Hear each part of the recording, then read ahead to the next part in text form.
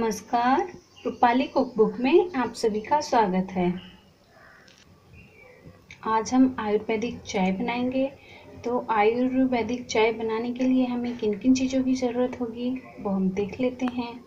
ये मैंने इलायची ली है, हरी इलायची ली है ये, और ये दो काली मिर्च ली हैं, दो लौंग ली हैं, अदरक का टुकड़ा लिया है। और ये मैंने पत्ते लिए हैं, कुछ पुदीने के, और ये जीरा लिया है, ये सौंप ली है, ये काली नमक ली है।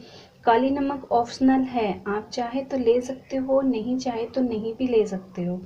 ये जो आयुर्वेदिक चाय होती है, इस चाय से खांसी, जुकाम, बुखार, किसी भी तरह का इन्फेक्शन हो या वायरल हो, किसी भी तरह का, उसमें बहुत मदद मिलती है इस चाय से। जो हमने अदरक लिया था तो अदरक को हम कद्दूकस भी कर सकते हैं और ऐसे ही कूट के भी डाल सकते हैं। तो मैं अदरक को थोड़ा कद्दूकस से कस लेती हूँ। आयुर्वेदिक चाय बनाना स्टार्ट करते हैं। तो चाय बनाने के लिए हम एक चायदान लेते हैं। ये देखिए, ये हमने चायदान लिया है। अब इसके अंदर हम एक गिलास पानी डाल देते हैं। ये देखिए, अदरक को कस लिया है।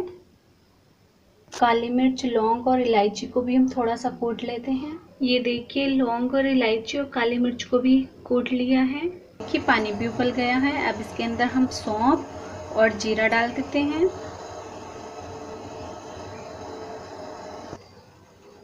जो जीरा लिया था, जीरा डाल देते हैं।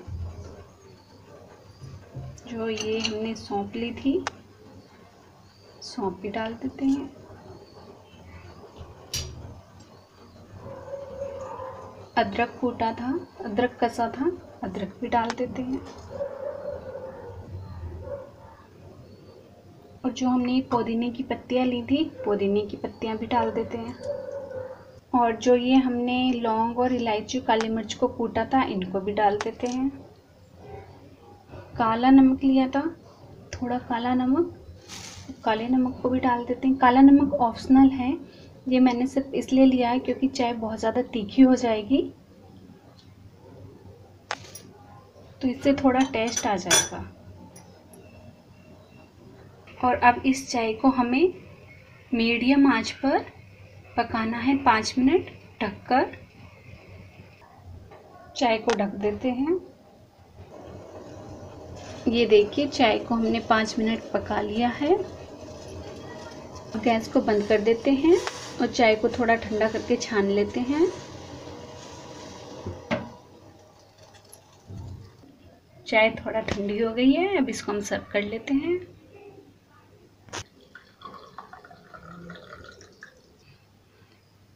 ये देखिए, आयुर्वेदिक चाय बन गई है।